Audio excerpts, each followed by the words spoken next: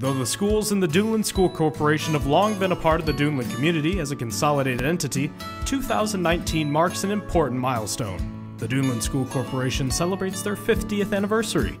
For five decades, administrators, teachers, leaders, and the entire Duneland community have worked together to provide a solid foundation for children and young adults, enabling them to live fulfilling and purposeful lives. The Duneland School Corporation became official in 1969 after the Indiana General Assembly enacted legislation to facilitate the consolidation of local school districts. Chuck Messler, former superintendent for the Duneland School Corporation, recalls the events.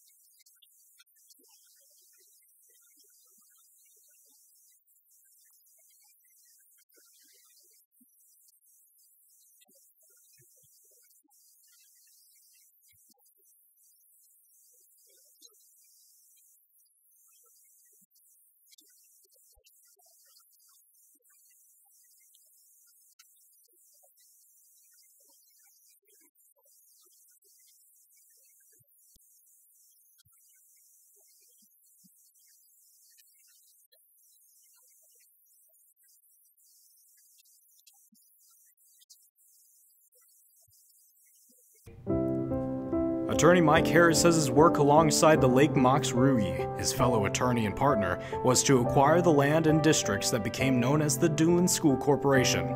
This work was crucial to the reorganization plans that were ultimately approved by the county and state committees, though that process was met with some resistance and required tenacity.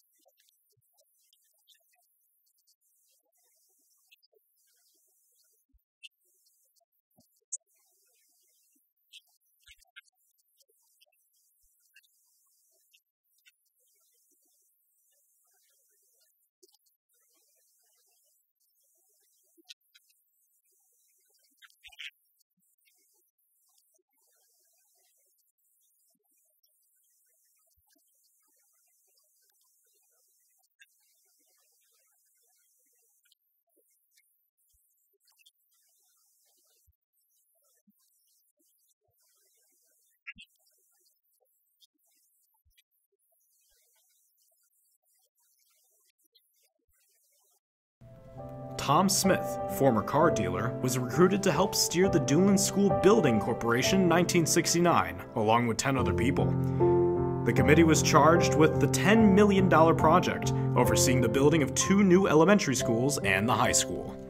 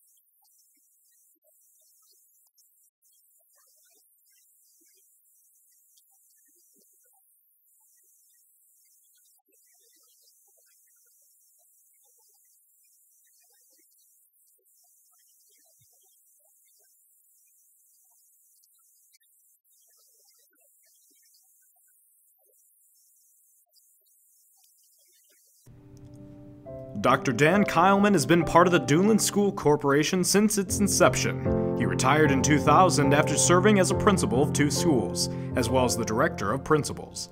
He credits his fellow faculty and administration with the success of the system.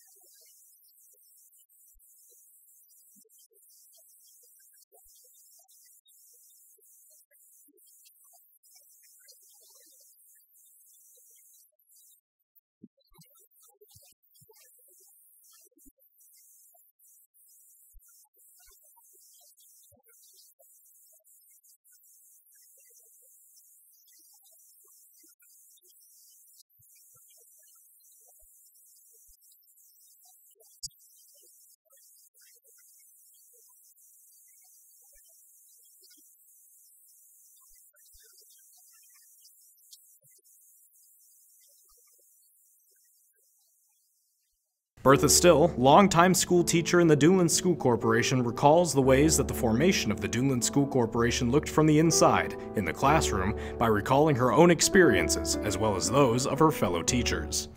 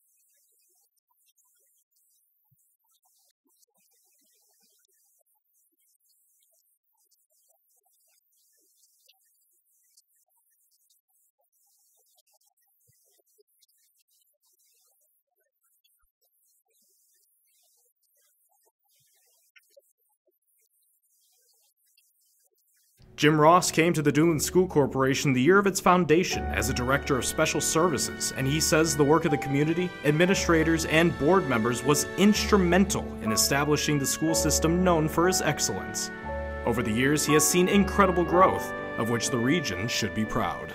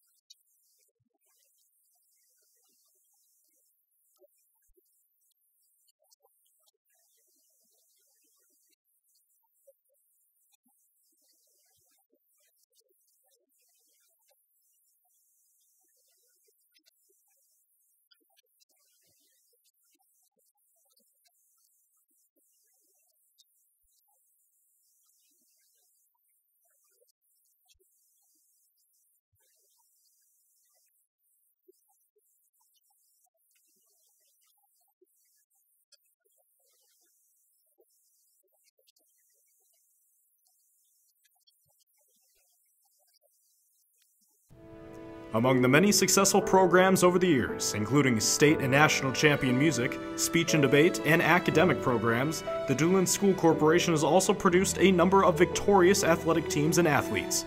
Athletic Director Gary Nallenwag reflects on the history in the Duneland School Corporation.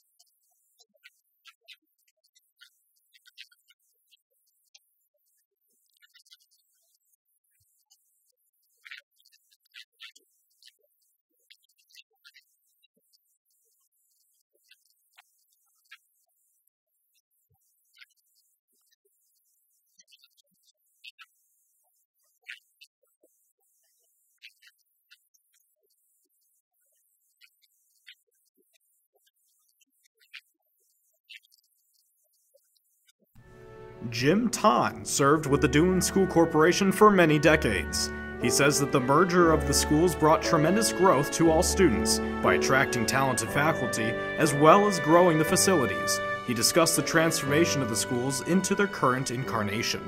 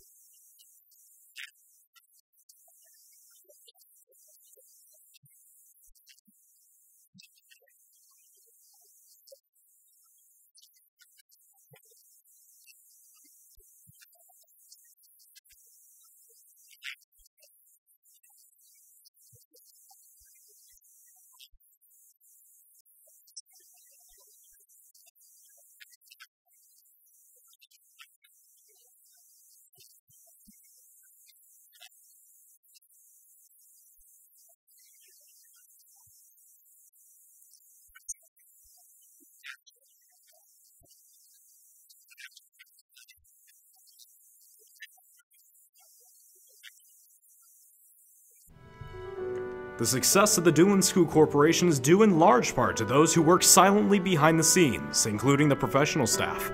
One of these essential staff members was Bonnie Gaston, who worked in the district for 45 years as a business manager. She says that the Duneland School Corporation was truly a family.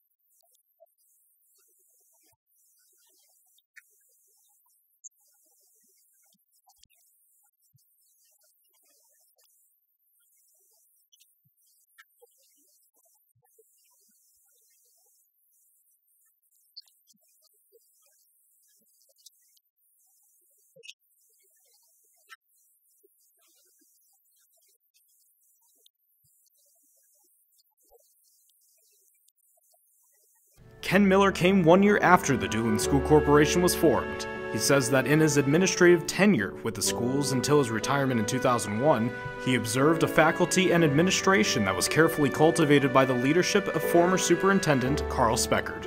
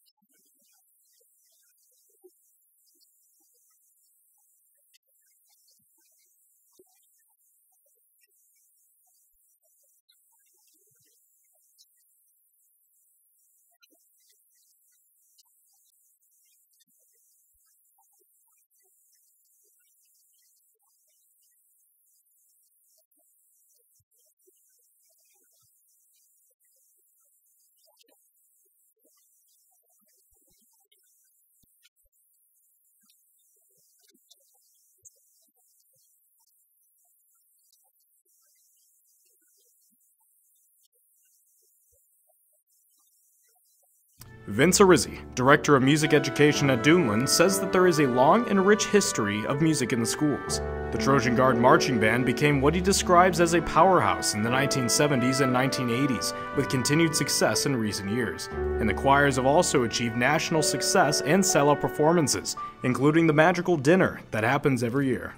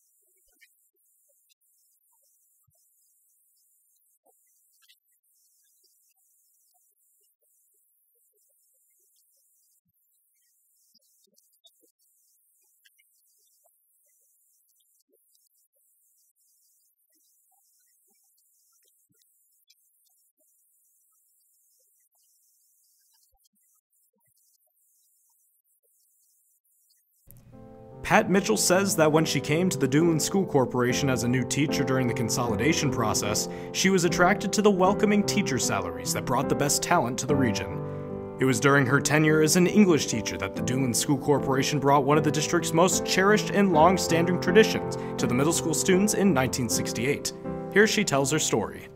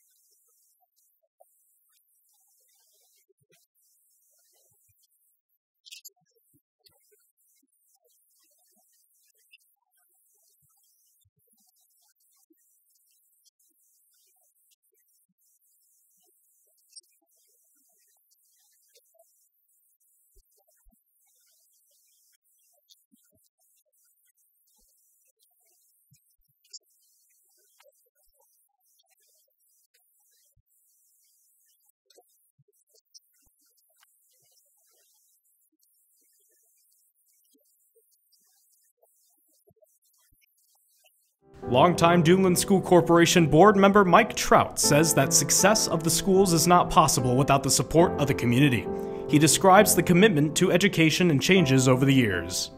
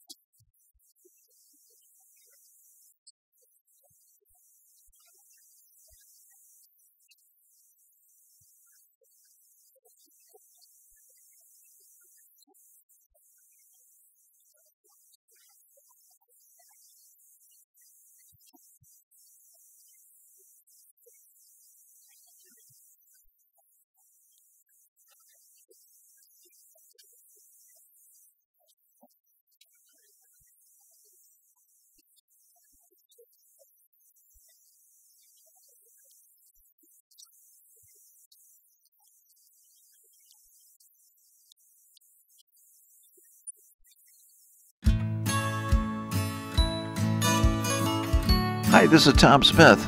I want to thank all the participants in the 50th anniversary documentary of Duneland Schools. We dedicate this video to the thousands of students who've passed through these halls with incredible success over a remarkable 50 years.